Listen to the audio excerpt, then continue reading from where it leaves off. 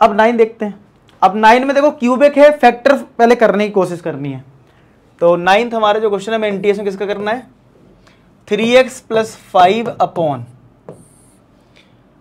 factor कैसे होंगे देखो एक्स क्यूब में अगर हम मतलब इन दो टर्म में अगर एक्स स्क्वायर कॉमन ले लें तो क्या आएगा? एक्स माइनस वन और इन दोनों में क्या करो? माइनस वन कॉमन ले लो। तो ये भी तो एक्स माइनस वन आ जाएगा कि नहीं आ जाएगा? बताओ। तो ये क्या आ जाएगा? Three X plus five X square minus one एक ब्रैकेट में और एक्स माइनस वन एक ब्रैकेट में।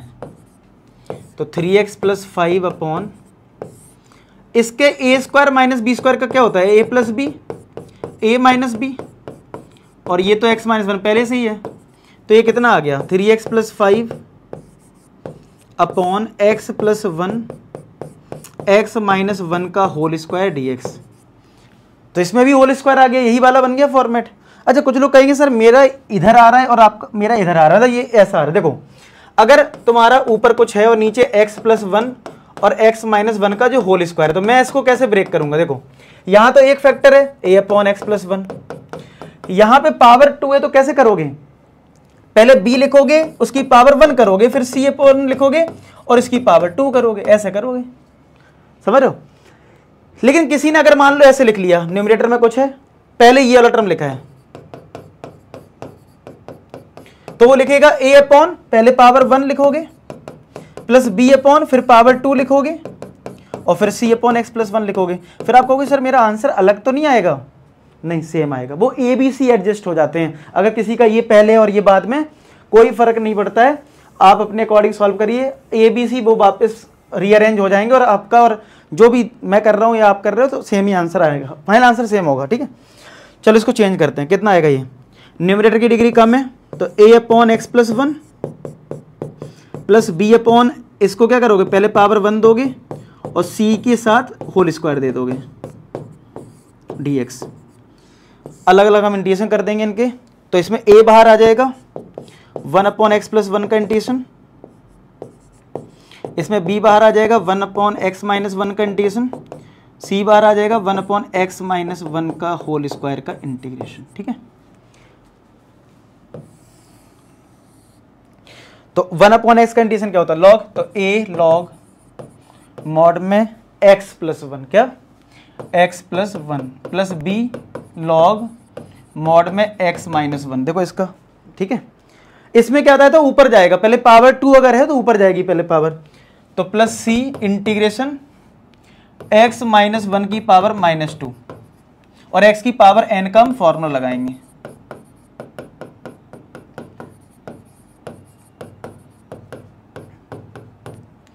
तो ये कितना आएगा? X माइनस वन की power minus two plus one upon minus two plus one और एक कांस्टेंट टर्म सी वन हम ले लेंगे। तो a लॉग मॉड में x plus one plus b log mod में x minus one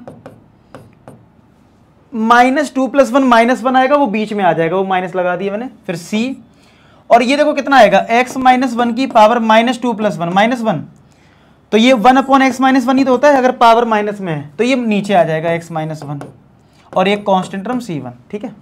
अब आपको ए बी सी निकालना है। तो ए बी सी को मैं यहाँ पुट कर लूँगा तो एक लाइन खींच लेता हूँ, यहाँ आगे सॉल्व करते हैं हम लोग, ठीक है? इतने में हमारा आंसर आ जाएगा जो है।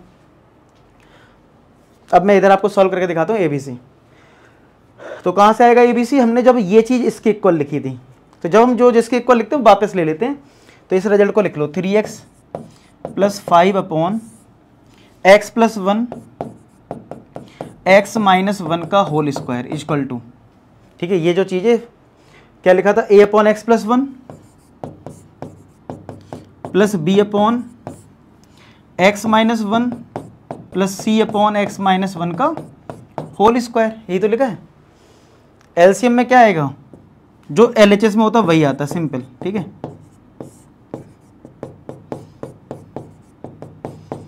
तो एलसीएम में हमारा आएगा x plus one x minus one का होल स्क्वायर तो ए के साथ क्या आएगा? X माइनस वन का होल स्क्वायर, क्योंकि ये कट जाएगा। एक एक्स माइनस वन कट जाएगा तो यहाँ पे आएगा X plus one, X minus one, और सी के साथ आएगा एक्स प्लस वन। तो ये और ये कट गया। Three x plus five is equal to.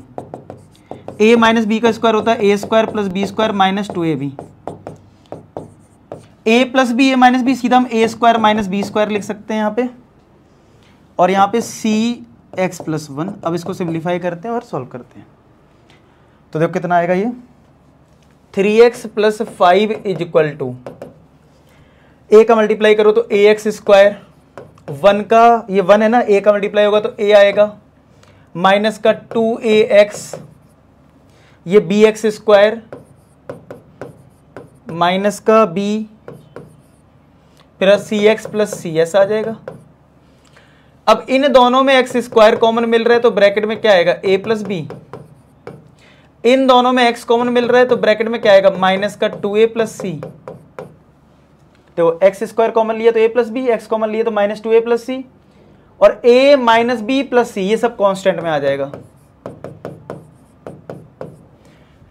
A minus B plus का सी और एल में क्या है? थ्री एक्स प्लस फाइव अब देखो एक्स स्क्वायर यहाँ पे ए प्लस बी है. और यहाँ पे तुम्हारा है ही नहीं एक्स स्क्वायर तो ज़ीरो यहाँ पे माइनस का टू ए प्लस सी है। और यहाँ पे एक्स का कोफिशियन कितना है? थ्री है। तो ये थ्री हो गया। और यहाँ पे a minus b plus c कितना है? कांस्टेंट टर्म है। तो a minus b plus c जो है, वो किसके इक्वल हो जाएगा? फाइव के। तो यहाँ से क्या करना चाहिए हमें? बी निकाल लो। सबसे इजी पड़ेगा बी को निकालना। तो ये माइनस ए आ गया आ गया। तो ये ए और सी में इक्वेशन है। तो हम इधर भी बी को पुट कर दें अगर माइनस एस वाले में तो ये भी तो ए और सी में आ जाएगी इक्वेशन देखो, इसको करते हैं। ए माइनस बी बी के लिए रख दो minus a plus c equal to five ये माइनस माइनस प्लस ए हो जाएगा तो टू ए हो जाएगा। Two a plus c equal to five चलो, अब इस वाली इक्वेशन लिख लो। तो माइनस का टू ए प्लस सी कितना है? थ्री है ये कट गया। तो two c equal to eight तो सी कितना आ गया? फोर आ गया। अब सी को रख दो तो ए मिल जाएगा। चलो इस वाले में रख दें। तो माइनस का टू ए प्लस का सी हमारा फोर है इक्वल टू थ्री तो माइनस वन आएगा माइनस माइनस कटेगा तो क्या ए वन बाई टू आएगा? चेक कर, उससे करें कैलकुलेशन वन बाई टू ही तो आएगा। और अगर ए वन बाई टू है तो बी कितना होगा? माइनस वन बाई टू आएगा।